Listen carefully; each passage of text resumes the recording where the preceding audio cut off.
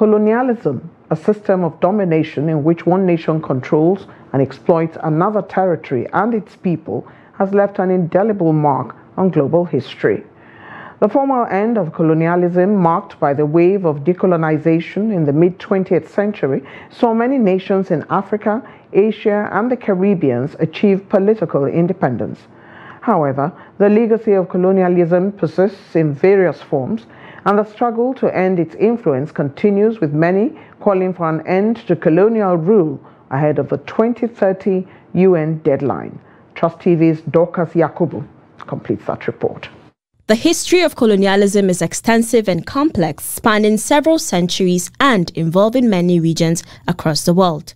The legacy of colonialism is evident in the political, economic, and social structures of former colonies. The arbitrary borders drawn by colonial powers have often resulted in ethnic conflicts and political instability. Many former colonies continue to grapple with underdevelopment, dependency on primary commodity exports, and debt burdens rooted in colonial exploitation.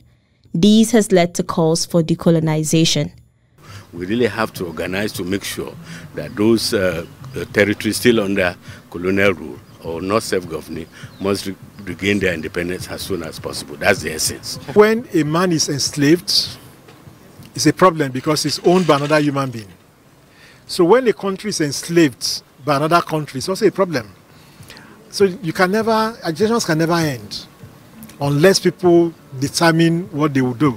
If we have a vision of a united world, that that unity that can only happen if we are all equal, if we act in equality and that's not the imperialism and the colonies is a system uh, that opposed to that equality that we're fighting for that we're looking for colonialism has left a legacy of racial and cultural hierarchies that continue to affect national identities and social cohesion Despite the pervasive influence of neocolonialism, stakeholders say there's a growing need to resist and challenge this domination.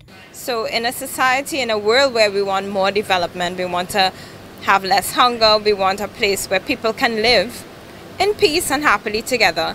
It is extremely important that people are no longer dominated and oppressed and in many cases violently so, which has been the process of colonialism that we know to date. The struggle for true independence and self-determination continues as formerly colonized nations seek to overcome the legacy of colonialism and assert their place in the global order.